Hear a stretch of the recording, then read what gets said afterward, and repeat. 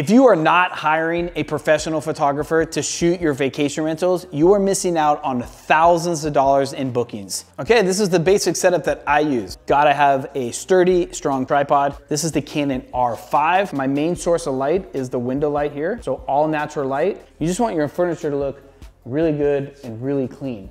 And then the kitchen to me is always like one of the most important parts. So you really wanna make sure you get a money shot on your kitchen. Since you're spending all this time, definitely take a bunch of different photos of every room